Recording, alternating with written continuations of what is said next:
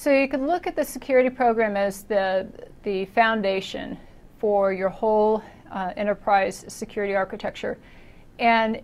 you know, just like any foundation, it, it's going to support a lot of different things. And I said earlier that I've seen companies where they, they do the best they can, but it's hard to build a security program when you don't understand it holistically because it's not just technical, it's, it's the processes that have to be understood, it's the business issues. So you need to take the time to build it properly and then if you build it properly then you don't have to go back and try to fix things you could build on top of it and uh, you've got secure security through the different layers